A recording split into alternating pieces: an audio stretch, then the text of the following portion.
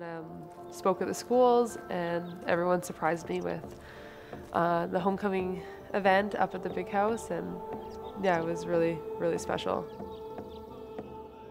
It, and it was overwhelming, not just because I felt so loved and supported, but yeah, I think because yeah, I just felt like this power that I hadn't felt in a really long time, and it was definitely, I think, um, uh, like a turning point for me, and and being like, oh, like there should be more of this in my life.